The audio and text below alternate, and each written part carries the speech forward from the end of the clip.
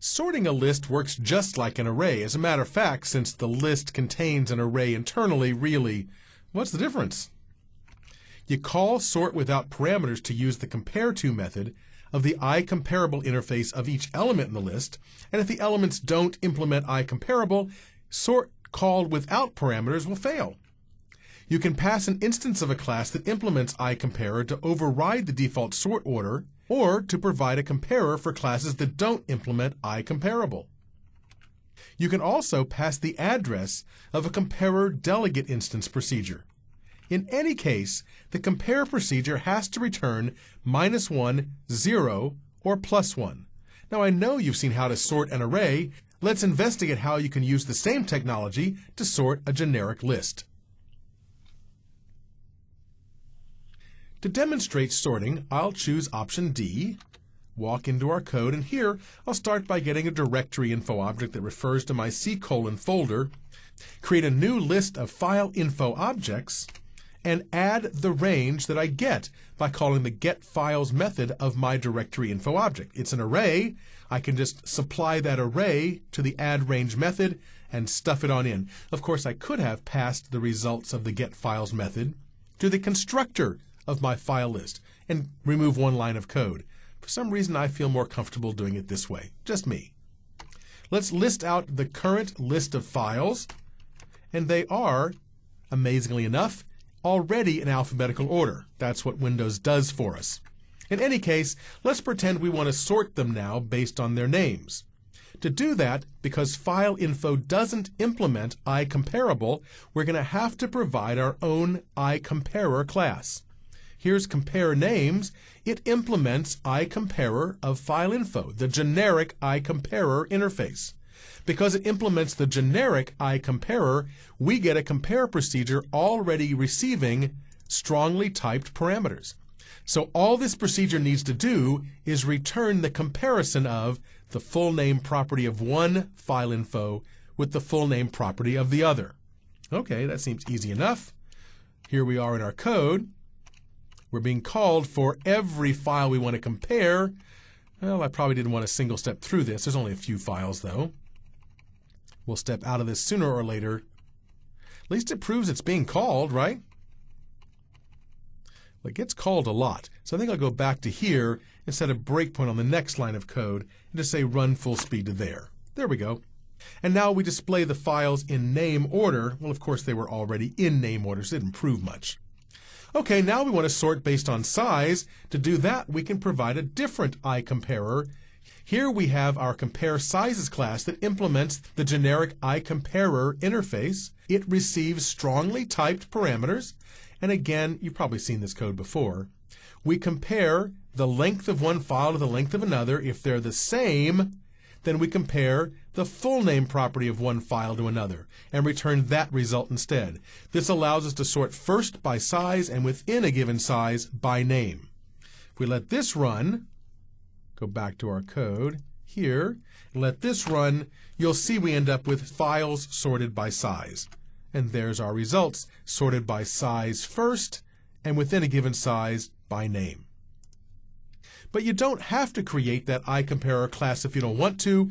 You can just provide the address of procedures that match the generic delegate type that's required.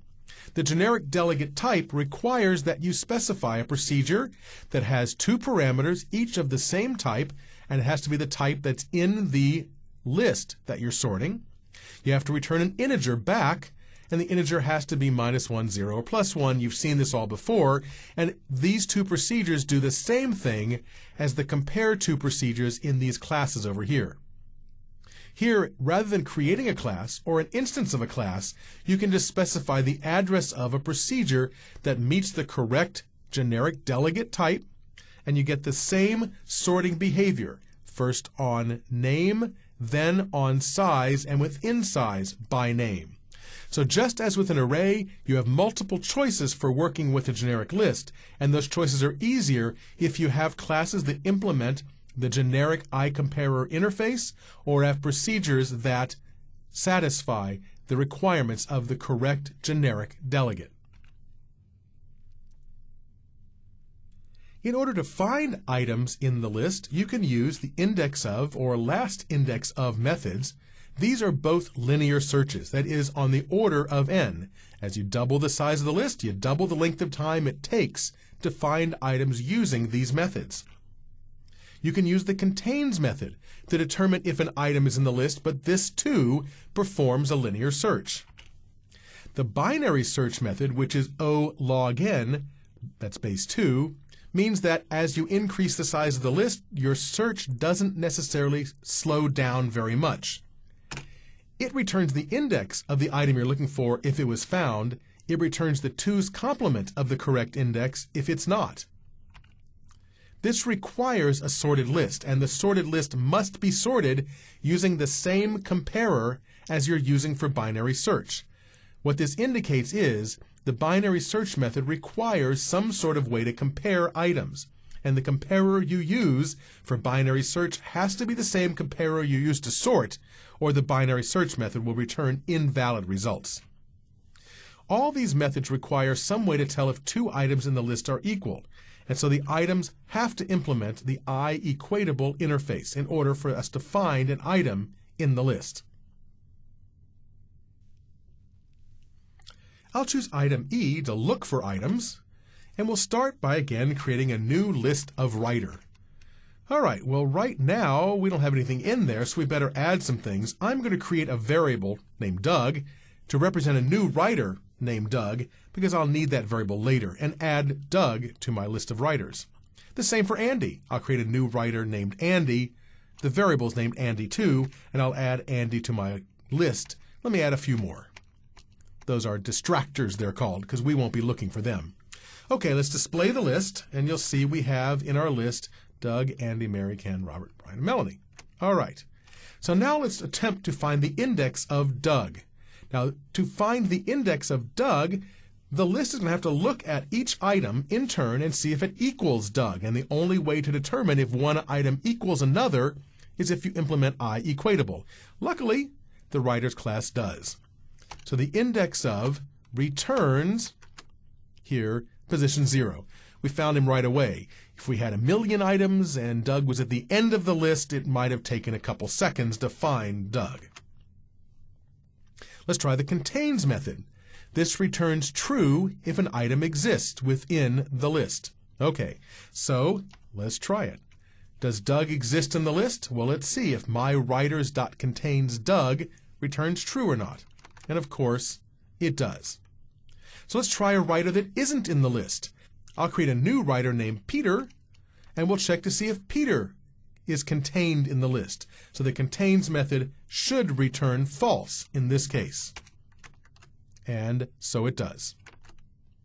Let's try a binary search using the default comparer. So here, we'll just use the sort method without any comparer supplied. This uses the iComparable interface of the writer class to perform the sort. And by default, we sort on name. So I'll do a binary search without supplying a comparer for Doug. Of course, Doug is found at index 2 at this point. Yep, there he is, item 2, because once we sort him, he is at position 2. You can see it there in the list. Okay, now let's use a different comparer. So in this case, I'm going to use a new instance of the compare states class. Let's look at that. Compare states implements iComparer of writer, the generic iComparer. So the compare method gets handed two writer instances, and you need to determine how you want to compare writers. I'd like to compare them based on state, so I'll compare the home state property of one to the home state property of the other. All right, so we're first going to need to sort using that comparer, and we'll display the list in sorted order based on state. It appears to be California, California, California, Florida, Florida, Illinois, Washington. It's alphabetical based on state. Okay. Now we'll perform a binary search passing in that same comparer. Remember, if you sort using a comparer, you have to search using the same comparer. So now if I search for Doug, I'm really searching for IL. That's the field the comparer is using. So was it found? it was found at index 5. Is that true? IL was found at index 5. That's right. Let's search for Andy. Well, of course, we're really searching for FL, and FL was found at index 3, and so it was. The point of that exercise, by the way, was to point out that when you're searching for an item that appears more than once in the list, you're not guaranteed which one of them you'll find. We found the first one. Depending on circumstances, we might just as likely have found the second one. So remember, if you're searching for an item and it appears more than once in the list, binary search doesn't guarantee which one it will find. Here, if I search for Jennifer in CO, Colorado is not in our list, so where was it found? Minus 4. And to calculate where in the list that should be, take the negative, that's 4, subtract 1, that's 3. So CO would appear at position 3, and that's exactly right. If Jennifer was in the list, it would appear right here at position 3, which you get by taking the negative of this and subtracting 1. Gives us position 3. The list class provides a set of methods that work in a special way, unlike any other class except the array class, which has very similar functionality. You supply the address of a procedure that meets specific requirements, and the method calls that procedure for each element of the list. The result depends on the particular method, but that address is called a predicate. It's simply a callback. The list class calls your procedure for each element. It takes an action on each element, that would be a system.action delegate, or it determines if each element matches some criteria. That would be the system.predicate delegate. Or it converts each element. That would be the system.converter delegate. Each of these is a generic delegate, and you specify the address of the procedure has to have a parameter that matches the type of the item in the list. But in each case, it takes the action for you. So imagine you want to take a list and return a second list containing all the original elements converted to a new type. You could loop through each element, or you could call the list.convertAll method supplying a predicate of the system.converter delegate type. That would just, in one line of code, hand you back a new list filled in with the converted types. Another scenario. What if you want to retrieve a list that contains a subset of values from a list given some criteria? Maybe you have a list of files and you want a sublist that returns all the files that are smaller than a given size. You could loop through all the items, copying matching ones to a new list. Or you could call list.findAll, supplying a predicate of the system.predicate delegate type. This will say yay or nay for each item in the list, and the list.findAll method will only copy the ones where your procedure returns true. What if you want to iterate through all the items of the list, taking an action on each item? What if you don't know the action until runtime? Because really, if you ask the first question, you would just say do a for each loop. Well, you could create a for each loop, making choices inside the loop based on some criteria. Or you could call the list.forEach method, specifying the address of a system.action delegate instance. It'll run that method for each item in the list, doing whatever your method says to do. This whole concept relies on both generics and delegates. The .NET framework types that define the signature of procedures. That's what delegates are. These delegates specify parameters and return values. The system.predicate type accepts a value of the type in the list and returns a Boolean. That's your I say yes, I say no for each item in the list procedure. The list.findAll method uses this delegate type to determine if items meet a criteria or not. The system.converter delegate accepts an input parameter that matches a type in the list and returns a converted value. List.convertAll uses this delegate type. The system.action delegate type accepts an input parameter that matches a type in the list and returns no value. It just does some action for each item in the list, and list.forEach uses this. What methods do we have? We have list.convertAll, which uses the system.converter delegate. We have list.exists and list.trueForAll. Exist returns true if any item in the list matches the predicate. TrueForAll returns true if everything in the list matches the condition in your predicate. FindAll returns all items in the list that match your predicate. Find or find last returns the first or last item that match your predicate. For each uses the system.action delegate and just takes an action for each item in the list. And remove all removes all items in the list that match the condition in your predicate. Let's look at an example that demonstrates each of these methods and their various predicate types. I'll choose option F to demonstrate working with predicates. And we'll start by filling a list of file info objects as we have in the past. So now we have our list full of files we found in my C colon backslash folder. I'd like to use the find and find index methods to look for files. Now one way to do this is to create an explicit variable, I called it match, which is a new instance of the system.predicate of file info type.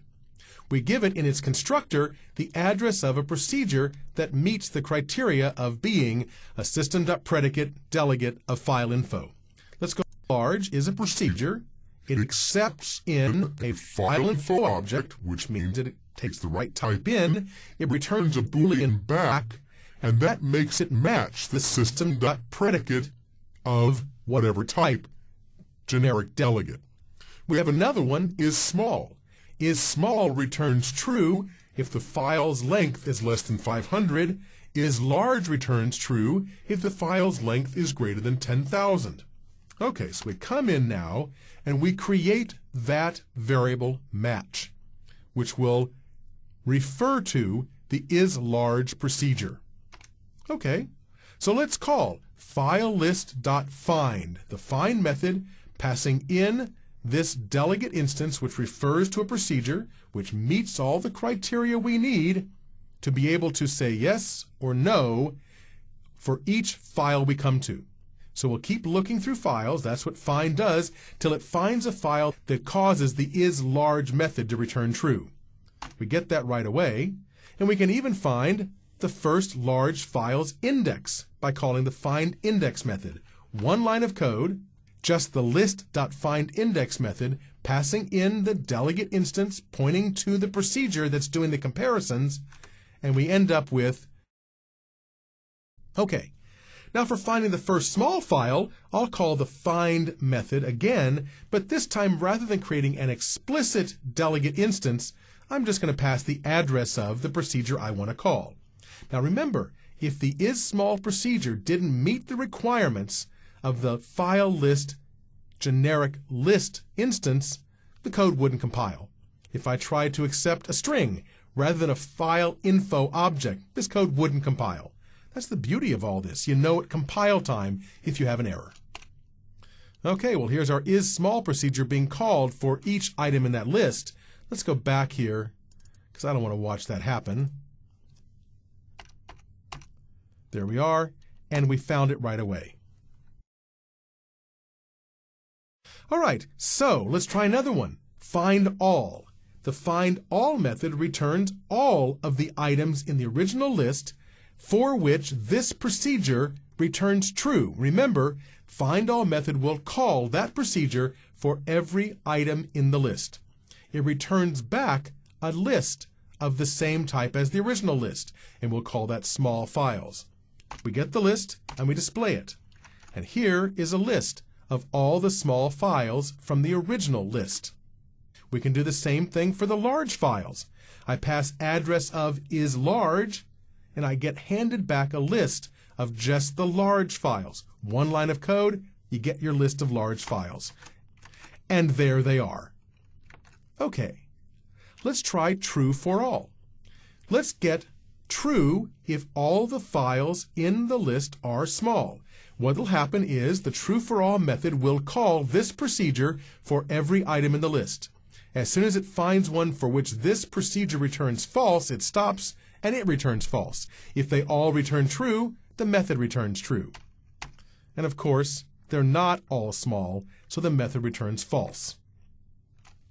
Let's test to see if any file is small. It does that by calling the exists method passing in the address of isSmall, it will call that procedure for each item in the list. As soon as it finds one for which the method returns true, it stops and it returns true. If it gets all the way to the end and none of them have returned true, it returns false. So you can see there is a file that is small. We see true in the output window here. Let's try another example. Let's try the remove all method. Remove all allows you to pass the address of a procedure it will call for each item in the list, and if any item in the list returns true when it calls is large, that item will be removed from the list. So we're effectively removing all the large files in one line of code. We see now, there's our list with all the large files removed from it. Okay, let's try a different kind of predicate. These are system.action predicates. Well, the display in console window method looks a little different. This is a sub. It still takes in a file info, so it matches the correct generic delegate type, and it takes some action, displays in the console window. Display in output window is also a sub that takes in a file info, so it matches the correct generic delegate type. It writes to the debug window. Let's come back and run our code we call for each once with each different predicate, and we'll see output in the console window, and we'll see output if we view output window here, there's the results in the output window. Now normally you wouldn't call the for each method just to avoid writing a for each loop. There's really no difference. The only benefit to the for each method is you can pass in the address of the procedure you want, making choices at runtime determining which action you want to take. That's a nice, easy way to avoid having to have lots of complicated if and else and then and all that code in your for each loop. Instead, just pass the address of the procedure that does what you want. The converter predicate's a little more complicated. To use the converter predicate, you have to actually create a variable of the delegate type you want to use. That's because the converter delegate is the only one that uses a type other than the type in the list. It doesn't know what type you're converting to, so it has to know before you use it what exactly you're converting to. So I've created a variable convert to string as a new instance of the converter delegate type. We tell it it's of file info, that's the input type, and string, that's the output type and we give it the address of the procedure we're going to call. File info to string. Let's go look at it. File info to string is a method that takes in a file info. That's the first item in the two generic types. And it outputs a string. That's the second item. That's how we have to specify it. And this does the work of converting from the input type to the output type. In this case, it's simple. We just return the full name property of the file. Okay. That's all it takes. We have our variable that refers to the procedure, that's our delegate instance, and now we're going to call the convert all method. It returns back a list of the output type, and we pass in the address of the procedure we're going to call. See why we had to have a variable? Otherwise, how would the compiler know what this type is supposed to be? Any case, we've got the variable here, and we call the convert all method, and we end up with a list of the converted files, converted to strings. At this point, file names contains a list of six strings, not file info objects, but instead they're strings. We run at full speed, and we'll see that list of strings in the console window.